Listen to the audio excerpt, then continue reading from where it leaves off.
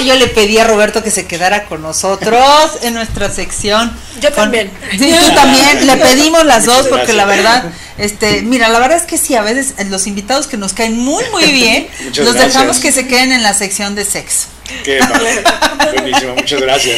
No, bueno, y el tema de hoy, Vero, ¿cómo estás? Hola, ¿Qué bueno, tal te pues fue les- de vacaciones? ¿Todo Ay, bien? súper ¿Todo rico. Qué bueno, qué Sí, bueno. ya me Pues ya, presentó una araña que andaba por allá y Por allá por que los no conocía Que tiene carita feliz. que tiene la carita feliz, como yo.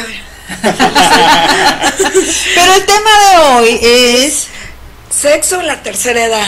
sexo en la tercera edad. Y yo le pedí a Vero que hoy nos preparara un poco tema porque quizá hay mucha información que tiene que ver con nuestra sexualidad en prácticamente todas las etapas de la vida, pero en la edad donde uno se imagina a una abuelita con su chongo y tejiendo, nos resulta a veces un poco complicado entender que el sexo no se termina, ni las pasiones, ni los deseos, a lo mejor porque por decisión propia, que es lo que yo pensaría, y ustedes ya me dirán, decides restringir un poco ciertas actividades en tu vida, pero no quiere decir que se terminen.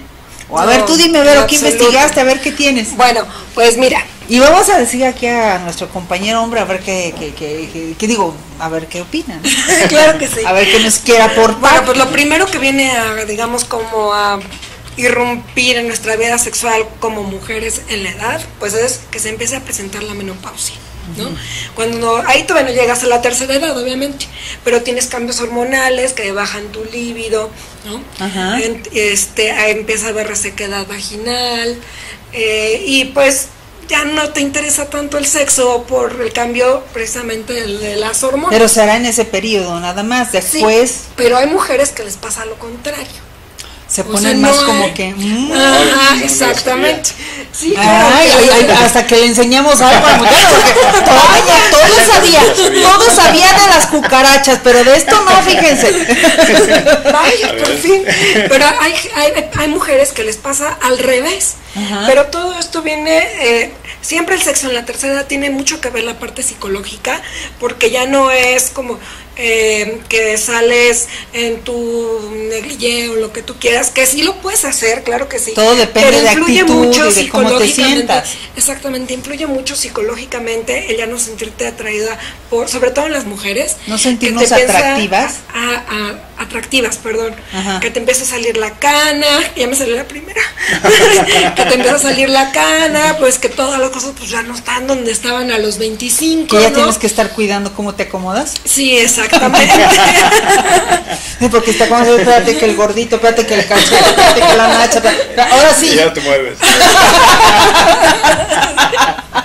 Oigan, por eso les digo que existen las luces indirectas. Un día las pregúntenme, métanse a mi página y, y les platico. Con luces indirectas uno puede arreglar muchas cosas, caray. Claro. ¿Por qué tienes que poner un focote arriba donde se No, ve todo? si no es dentista.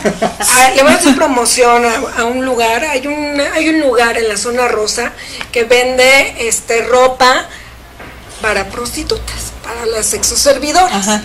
Venden una cantidad de cosas extraordinarias con las que te puedes tapar el gordito de acá, la, Ah. por acá. Ah, ¿qué tal, eh? Hacen Ah. unos vestidos guau. Mira, eso que dices está interesante porque es justamente lo que a lo mejor una mujer desearía. Oye, yo quisiera como estar enseñosa, pero ¿qué crees? Como que la pancita, de hecho, por ejemplo, yo he visto que mucha ropa interior para mujeres últimamente es como más tapadita, pero sensual. Pensando en que la que tuvo cesárea, o la que ya ha hecho barriguita, o la que no se siente tan cómoda, pero al mismo tiempo, hombre, pues sí me quiero poner, pero si nada más me vas a dar un hilo dental y dos lentejuelas, como que Pues, quiero exacto. ponerme otro poquito para sentirme más cómoda, Bueno, ¿no? o, qué tal ponerte el calzón, el cachetero completo, pero todo encaja. ¿Tú sabes cuál es un calzón cachetero? Ve cuál es el Ah, Méteme la todo calificación. sabe, todo sabe. es, es diferente, ¿no? Así sea hasta de las cachetadas. y ya y ya hay calzones cacheteros que, de- que son todos de encaje y, Y se ven muy bonitos. se ven hermosos Y hasta tienen y como compresión. exactamente tienen compresión para así para bajar tantito la que pancita te acomode un poquito. No, sí, sí, sí, hay, nada más infórmese, no crea que todo, Bueno. hay de todo y para todos. y digamos bueno dentro de los problemas físicos Ajá. de la mujer pues bueno vienen los cambios hormonales que pues las cositas ya no están en su lugar eso influye mucho psicológicamente. Y en los hombres, pues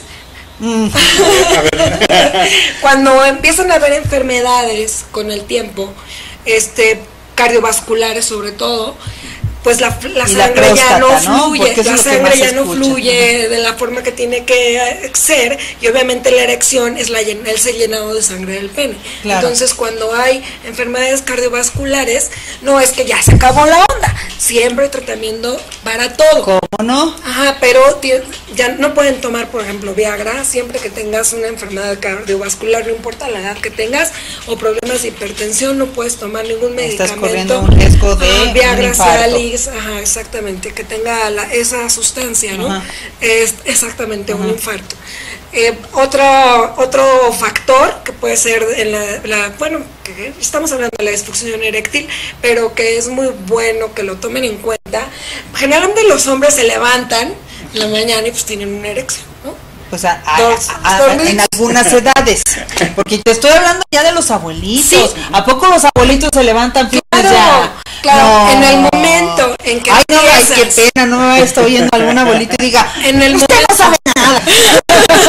Claro que sí, en el momento en que un hombre empieza a no tener esas erecciones, tiene que correr al doctor.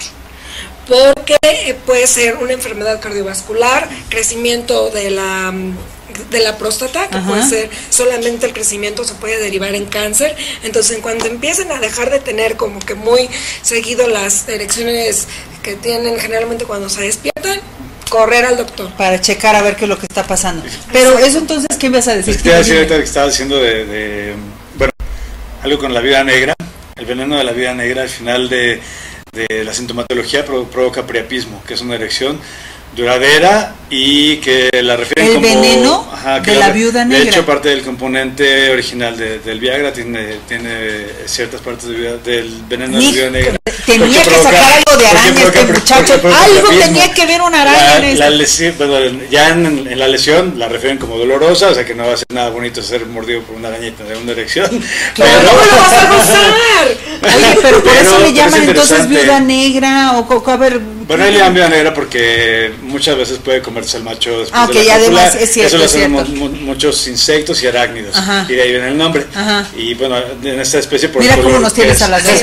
En esta especie porque el color es negro lustroso. Claro. Pero sí, es que ahorita que estaba diciendo esto de, de la erección, del Viagra y todo, sí, una parte del componente original es, eh, eh, es una fracción del veneno, Del de veneno negra de- porque provoca este propismo al final de la, de la sintomatología, bueno, durante la sintomatología del envenenamiento. Pero que además, si es si es como veneno, pues tampoco tendría que ser, no creo que sea como tan agradable, yo no sé, pero algo como que está a fuerza y por un tiempo prolongado. De hecho, una erección por un tiempo muy prolongado debe ser Sí, hasta dolorosa. tienes que ir al hospital. Cuando hay hay, casos gente de que consume Viagra y entonces la erección no termina y tienes que ir al hospital. ya ni está de buen humor, o No, sea, es doloroso, es doloroso. debe ser dolorosa, Sí. ya no hay acción, ya no hay nada Es y doloroso. Ya, ¿Qué hacemos? ahorita que me, que- que me dijiste del, del veneno extraña que yo no tenía la menor idea, pues hay muchas cosas también naturales que pueden ayudar. claro, Por ejemplo, algún, ti- algún tipo de nabos, moras. Este, lo, desde el tiempo de Oye, ahorita Sócrates, que mencionas nabo y no, y no, el azafrán es muy bueno, sí, cómo no. el Sí. jengibre, que no quiere decir que ya me voy a echar una hervida de jengibre ya, uh, No, y también hay que cuidar las comiéndolo. el- es que ahorita que mencionas el nabo, sí es muy bueno, pero ¿qué crees? El nabo también hace que la sudoración tenga un, un olor particular que no es atractivo. Ahí en mi página pueden buscar en los videos, hay una, una pastilla que se llama Pinsex Pill que tengo ahí.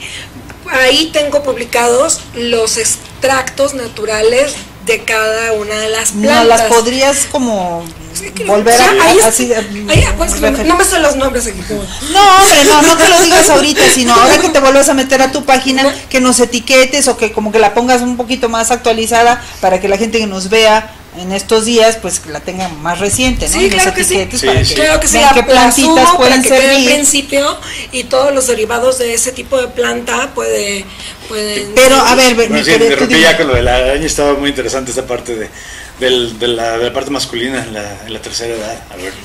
Es que es a lo que quiero llegar, la parte de la sí. tercera edad, donde no solo están, ahorita estás hablando de las cuestiones biológicas, que bueno, pero yo quiero, yo yo quiero meterme un poquito más, ya brincamos, bueno, ya llegaste a los 40, a los 50, ya estás en los 60, en los 70. O sea, esta es la etapa en la que a mí me hace un poquito de ruido que hay poca información y que el sexo no se terminó.